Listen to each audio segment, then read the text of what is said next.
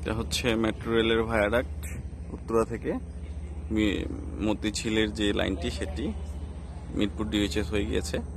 এর পাশেই হচ্ছে সবজি ক্ষেত। দেখতে পাচ্ছি, অনেক ধরনের সবজি লাগানো হয়েছে। ওপাশেও কিছু ক্ষেত আছে। ভালোই লাগে মেট্রো রেলের পাশে ধান ক্ষেত।